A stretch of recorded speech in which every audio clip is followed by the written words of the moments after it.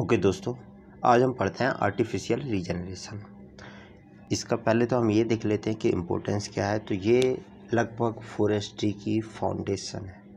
जो modern forestry है, जिसमें सभी कुछ हमें प्लांटेशन या आर्टिफिशियल ही करनी है, उसकी ये बेस है। आज के टाइम पे चाहे आप ग्रीन इंडिया मिशन कर रहे हो, या ग्रीन हाईवे कॉरिडोर हो, या यूपी गवर्नमेंट का ग्रीन मफलर जैसे प्रोजेक्ट हो कहीं भी हो, आपको प्लांटेशन करनी ही है। और उसके लिए आपको आर्टिफिशियली नर्सरी में आपको प्लांटेशन प्रिपेयर करनी पड़ेगी। चलो, आगे चलते हैं। तो यहाँ रीजनरेशन के अपने तीन पार्ट जो थे, इसमें नेचुरल आप पढ़ चुके हो। यहाँ पर अपना आर्टिफिशियल है। और जो थर्ड पार्ट था, उसे पढ़ाने की ज़रूरत नहीं है। वो एक्चुअली फॉरेस्ट को बेसिक शो करता है कि फॉरेस्ट में नेचुरल रीजनरेशन होता है। लेकिन हम क्योंकि वो नेचुरल रीजनरेशन कभी कभी कम हो पाता है, जो रिक्वायरमेंट है तो हम आर्टिफिशियली उसे सपोर्ट करते हैं। अब यहाँ पर अपना जो मेन इशू है, वो है आर्टिफिशियल रीजनरेशन इसे लेके चलते हैं तो पहले इसकी देखते हैं डेफिनेशन क्या है। Renewal of forest crop by sowing planting means artificially आप या तो सीड को सो कर रहे हो, या आप उसकी प्लांटेशन कर रहे हो। सपोज़ यहाँ पर जो बंदा है वो मैं हूँ। मैं अपने खेत में एक फार्म है मेरे पास, एक हेक्टर का, उसमें मैं प्लांटेशन कर रहा हूँ। एक मीटर बाय एक मीटर की स्पेसिंग से। ये मैं इसलिए बोल रहा हूँ कि ये अगले दो तीन टॉपिक तक यही चलेगा। सो आर्टिफिशियल प्लांटेशन मतलब या तो तुम सीड शो कर रहे हो खेत में डायरेक्ट या प्लांटेशन लगा रहे हो। कहने का मतलब इसमें प्राकृतिक तरीके से नहीं है, आपने खुद अपना हैंड इन्वॉल्व किया है। अब इससे जब मैंने अपने फार्म में एक हेक्टर में जो पॉपुलर प्लांटेशन की थी, वो आफ्टर एट ईयर कैसी होगी तो यूजुअली मैं क्या करूँगा, मेरा पर्सनल इंटरेस्ट है, इसलिए मैं उसमें एक सिंगल क्रॉप की सीड लगाऊँगा।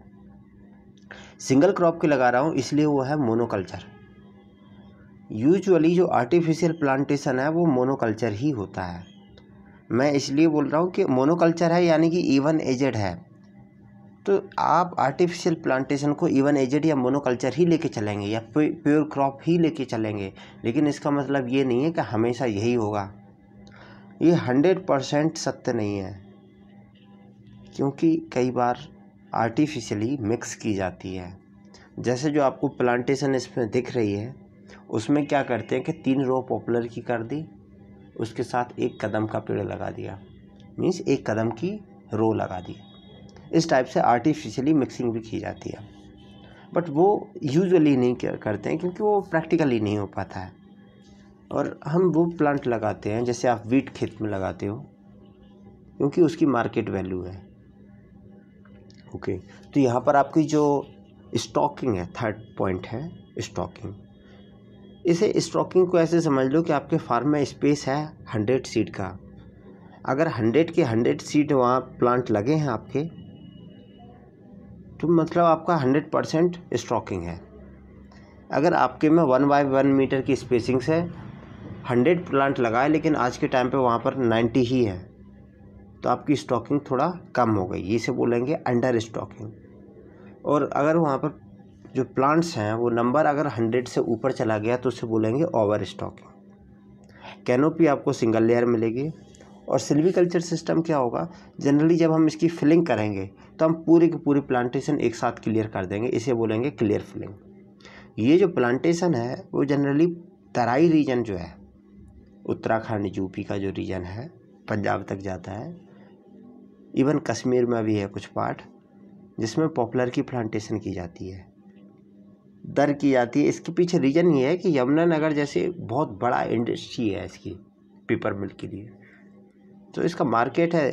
इजली कंजप्शन हो जाता है तो फार्मर्स को एक टाइप से एक इम्पिटस मिल जाता है। Okay discuss in detail the objective of artificial regeneration आप ये आर्टिफिशियल रीजनरेशन क्यों करना चाहते हैं? तो कुछ डिटेल हम पिछले चैप्टर में के लास्ट स्लाइड में पढ़ चुके थे। यहाँ पर कुछ बचे हुए हैं। पहली बात है कि जैसे हमारा नेचुरल रीजनरेशन है वो सक्सेसफुल नहीं हो पा रहा है। या तो फेल हो गया, या वो कम हुआ है तो हम उसको सप्लीमेंट करेंगे। दूसरा, हमारा जो फॉरेस्ट की जो वैल्यू वैल्यूएबल स्पीसीज है, वो कम थी तो हम उनको एक टाइप से फॉरेस्ट इनरिचमेंट करने के लिए करते हैं। या कई बार क्या होता है नेचुरल रीजनरेशन इसलिए फेल हो जाता है क्योंकि बायोटिक प्रेशर ज़्यादा है। तो हम वहाँ पर आर्टिफिशियली उसे सपोर्ट कर रहे हैं, जिससे वो मेंटेन किया जा सके। सेकंड कंडीशन ये भी हो सकती है कि हमें क्रॉप कंपोजिशन चेंज करना है। फॉर एग्जांपल एक फार्म था या एक फॉरेस्ट एरिया था जहाँ पर पहले साल ज़्यादा था। सपोज़ साल में फायर बहुत लगती है। जस्ट एग्जांपल मान के चलना है। सो so, मैं वहाँ पर कुछ एवरग्रीन ट्री लगा दूँगा जिससे वहाँ पर वेजिटेशन एक ब्लॉकेज बने तो फायर इंसिडेंस कम हो। ओके। वेस्टलैंड को रिक्लेम करना है तो आपको ये लगाने पड़ेंगे। बका के पढ़ लेना इसमें। लेकिन इसके कुछ इशू है। हैवी बायोटिक प्रेशर वगैरह है। ओके। हाँ एक बात और है कि राजीव गांधी के टाइम पे आया था फिफ्थ फाइव ईयर प्लान उसमें उन्होंने बोला था कि देश में एफोरेस्टेशन हमें करना चाहिए और five million hectare per year हम हर साल प्लांटेशन करेंगे इतने एरिया में। तो उसने आर्टिफिशियल रिजनरेशन को काफ़ी इम्पिटस दिया। दूसरा वहाँ पर ये है कि इंडस्ट्रियल डिमांड है, ये सब आपको जानते हो, इसमें ज़्यादा कुछ नहीं है। एक पॉइंट है नेचुरल रीजनरेशन दूसरा होता है आर्टिफिशियल इसे हम पहले देख चुके हैं। अब पर्पस है इनके डिफरेंस का, क्योंकि क्वेश्चन आए हुए हैं कि आपको आर्टिफिशियल नेचुरल रीजनरेशन में वेरिएट करना है, कि इनमें कौन सा सही है।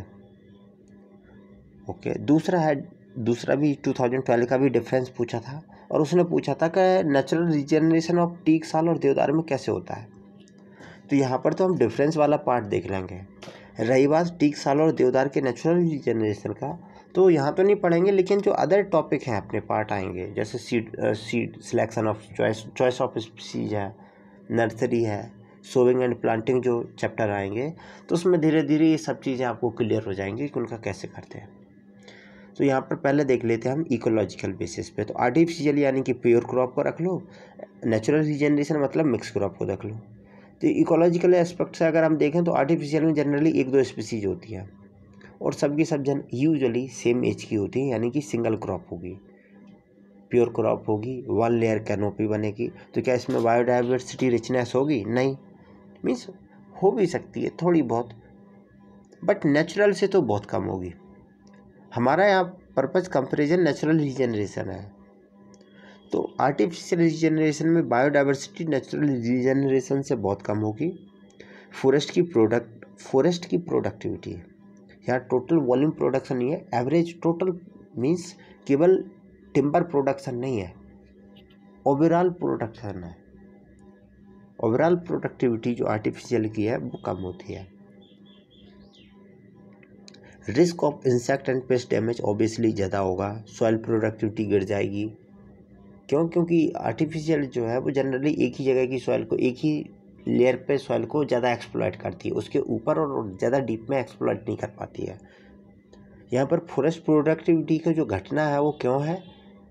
क्योंकि सपोज़ एक हेक्टर में जो मैंने पॉपुलर लगाई, उसने बनाया फाइव हंड्रेड मीटर क्यू का लॉग लेकिन जो मिक्स फॉरेस्ट है, वो एक्चुअली फाइव हंड्रेड ना करके वो सिक्स हंड्रेड के अबव जाता है। बस ये है कि वहाँ मुझे स्ट्रेट बॉल नहीं मिलेगा। छोटा, बड़ा, सभी टाइप के होता है तो उसकी मार्केट वैल्यू बहुत कम होती है। बट टोटल वॉल्यूम उसका ज़्यादा होता है, क्योंकि उसमें डिफरेंट लेयर्स ऑफ़ स्पीसीज हो जाती है तो टोटल वॉल्यूम ज़्यादा हो जाता है। रन ऑफ़ की बात की जाए तो प्योर क्रॉप है तो यहाँ पर क्या है? अगर रेनफॉल अपर कैनोपी ने बचा लिया तो बचा लिया, नहीं तो जैसे ही नीचे आ गया, वहाँ इरोजन होना ही है। जबकि मिक्स क्रॉप में काफ़ी लेयर है तो अगर एक लेयर ने नहीं रोक पाया वाटर ड्रॉपलेट की जो स्पीड है रेनफॉल की तो नीचे की लेयर उसे रोक लेती तो मिक्स क्रॉप में सॉइल इरोजन के चांसेस बहुत कम होते हैं, जबकि आर्टिफिशियल में बहुत ज़्यादा है। ओके इकोनॉमिक एक्सपेक्ट देखें। तो एक्चुअली नी नेचुरल रिजेनरेशन हमें सस्ता पड़ता है, क्योंकि उसमें तो हमें कुछ करना ही नहीं है, वो तो नेचर अपने आप कर रही है। लेकिन अगर वही बोला कि अगर आपको प्रोडक्ट देखना है तो आर्टिफिशियल की वैल्यू ज़्यादा होती है, क्योंकि उसमें जो भी आपको टिम्बर मिलता है, उसकी मार्केट वैल्यू ज़्यादा है। नेचुरल में तो हर टाइप का क्वालिटी का प्रोडक्ट है डिफरेंट क्वालिटी का, और सभी की हमें ज़रूरत नहीं होती है। तो टोटल उसका वॉल्यूम भले ही नेचुरल का ज़्यादा होता है बट मनी वैल्यू कम होती है। जेनेटिकल एस्पेक्ट से अगर देखा जाए तो आर्टिफिशियल में हम जो प्लांट लगाते हैं, वो जेनेटिकली सुपीरियर लगाते हैं। हम घटिया थोड़ी लगाएँगे, भले ही हम ऑस्ट्रेलिया से लेकर के आए, लेकिन वो जेनेटिकली ज़्यादा बेटर होगा नेचुरल के कंपेयर में। फ्लेक्जिबिलिटी ऑफ़ ऑपरेशन नेचुरल हमें ज़्यादा फ्लेक्सिबिलिटी देता है। कैसे? अगर आपने आज फीडिंग नहीं की तो कोई बात नहीं, अगले साल कर लेना। वो कुछ ना कुछ खुद भी मेंटेन करता है। स्टॉकिंग एवरेज हाँ artificial obviously hundred percent fully stock होगा। मीन्स आप क्या करते हो, अगर आपके एक हेक्टर में थाउज़ेंड प्लांट लगे हैं, अगर उसमें दो चार की जैसी डेथ हो जाती है, आप उसकी जगह दूसरा रिप्लेसमेंट फिलअप कर देते हो। तो इस टाइप से आपका जो फॉरेस्ट होता है, वो हंड्रेड परसेंट फुली स्टॉक होता है। अब यहाँ पर इशू है कि ऐसे कौन कौन से फैक्टर हैं जो प्लांटेशन एक्टिविटी को अफेक्ट करते हैं। तो पहला आता है लैंड। आपके पास बेहतर सॉइल वाला लैंड होना चाहिए, जिस पर आप आर्टिफिशियली प्लांटेशन कर सको। लेबर लेबर और स्किल, क्योंकि फॉरेस्ट जो एरिया है, वो काफ़ी रिमोट होती है। वहाँ पर लेबर की लेबर की जुगाड़ करना एक अपना इशू है। और वो, उसमें भी स्किल स्किलफुल लेबर मिले, ये अपना इशू है। तीसरा मार्केट है। आप प्रोड्यूस कर भी लो। तो मार्केट तो होना चाहिए। यही वजह है कि तराई रीजन में तो पॉपुलर काफ़ी अच्छा होता है, लेकिन सेंट्रल इंडिया में नहीं होता है। क्यों? क्योंकि अगर वो पॉपुलर कर भी ले तो वहाँ मार्केट नहीं है। उसको बेचेंगे क्या लास्ट है इन्वेस्टमेंट। ये इन्वेस्टमेंट पॉइंट ऐसा है जो ऑब्वियसली बहुत सारे लोगों से छूट सकता है। तो इसे थोड़ा हाईलाइट कर लें। कि फॉरेस्ट की एक्चुअली सबसे बड़ा इस जो इशू है, जैसे अभी रेल डिपार्टमेंट है तो इसका सबसे बड़ा इशू है इन्वेस्टमेंट इसका कोई ऐसा अभी मैकेनिज्म नहीं है जिससे प्राइवेट इसमें इन्वेस्टमेंट कर सकें प्राइवेट सेक्टर इसमें इन्वेस्टमेंट कर सकें. तो क्योंकि इन्वेस्टमेंट कम होता है, उसके पीछे एक रीज़न है. आपने आज इन्वेस्टमेंट कर दिया, चालीस साल बाद लॉग आएगा. तब तक मार्केट क्या रहेगा पता नहीं. मार्केट रहेगा भी या नहीं रहेगा? हो सकता है कोई नई टाइप की स्पीसीज आ जाए। और इसके साथ एक और है। आपने जो स्पीसीज लगा दी थर्टी ईयर तक तो सही रही इसके बाद उस पर एक, एक दिन इंसेक्ट अटैक पड़ गया। और उसने पूरी क्रॉप साफ़ कर दी तो आपका इन्वेस्टमेंट तो लग गया। इसके बाद है सोशल और सोशल और कल्चरल इसे आप ऐसे समझ सकते हो कि डाउन टू अर्थ की एक न्यूज़ है जम्मू कश्मीर हाई कोर्ट से वहाँ पर रशियन पॉपुलर को रिमूव करने का बोला। क्योंकि उसके जो पोलन ग्रैन थे, उससे उन्हें इरिटेशन करते हैं एलर्जी करते थे तो इस, ये भी इम्पैक्ट करता है कि आप चाहते तो प्लांटेशन करना, लेकिन पब्लिक नहीं करने देती है, क्योंकि उसके अपने इशू है। अब देखते हैं प्लांटेशन ऑर्गेनाइजेशन इस पॉइंट टॉपिक का पर्पज क्या है? अगर किस्मत फूटी हो और उन्होंने पूछ लिया कि प्लांटेशन को कैसे ऑर्गेनाइज करते हैं मतलब एक्चुअली आपको एक एरिया पकड़ा दिया और आपसे बोलना है, चलो चलो प्लांटेशन प्लांटेशन खिलते हैं। तो फिर आप क्या करोगे? तो मुद्दा बिल्कुल सीधा सा है। सबसे पहले तो आप, जो स्पीसीज आपको चॉइस करनी है मतलब पहले तो आपको एक स्पीसीज सेलेक्ट करनी पड़ेगी जिसका आपको प्लांटेशन करना है। फिर आपको उसके सीड कलेक्ट करने पड़ेंगे या उसका वेजिटेटिव पार्ट कलेक्ट करना पड़ेगा। फिर उसको अगर वेजिटेटिव पार्ट किया है तो उसे नर्सरी में प्रोपोगेट करना पड़ेगा, या फिर सीड को प्रोपोगेट कर लो। इसके साथ मीन्स पहले आपका चॉइस ऑफ़ स्पीसीज हो गया, फिर उसका आपने सीड कलेक्ट किए सीड करके आप नर्सरी बनाओगे नर्सरी में उस सीड को करोगे। जब ये कर रहे हो, कर रहे होगे, उसी समय आप साइड में वो साइट वो एरिया सेलेक्ट करोगे जहाँ पर ये आपको प्लांटेशन करनी है। इसके बाद आपका एक टॉपिक आएगा प्लांटेशन करना।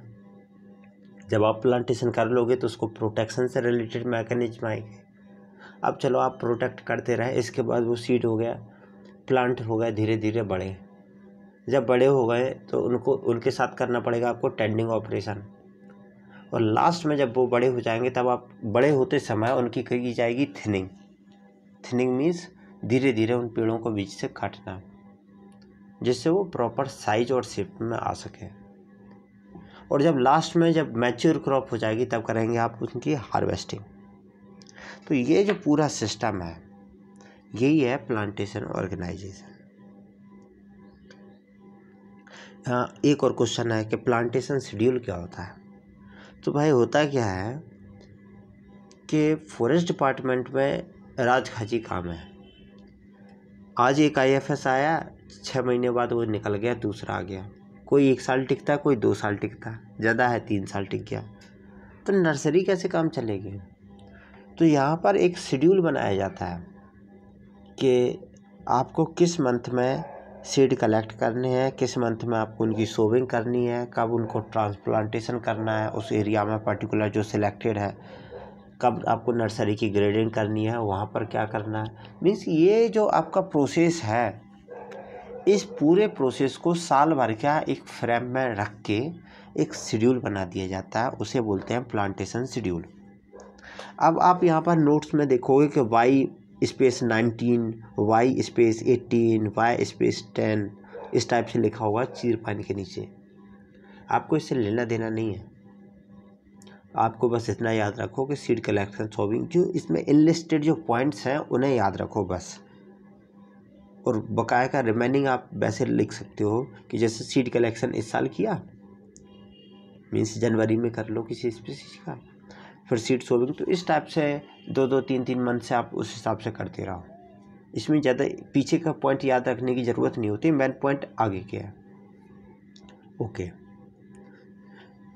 अब है comment critically failure of forest plantation ये काफ़ी लंबा टाइम का क्वेश्चन है, पिछले कई बार से चला आ रहा है।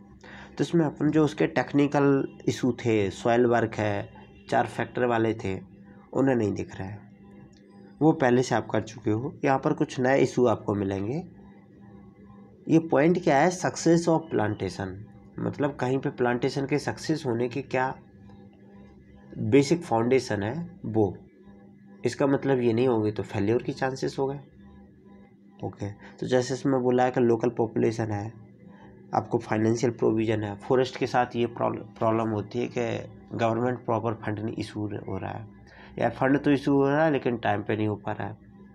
कभी कभी एक प्रोजेक्ट बनता है पाँच सौ करोड़ का, सौ करोड़ इशू हुए, तब तक गवर्नमेंट चेंज हो गई प्रोजेक्ट ठप हो गया। तो वो सौ करोड़ का जो प्लांटेशन ने लगाया था, वो पूरा सूख गया। इंफ्रास्ट्रक्चर की फॉरेस्ट में बहुत ज़्यादा प्रॉब्लम है। रोड नहीं होती है। फॉरेस्ट डिपार्टमेंट के पास व्हीकल नहीं होते हैं। आगे चलते हैं। ये चैप्टर यहाँ पर ख़त्म हो जाता है।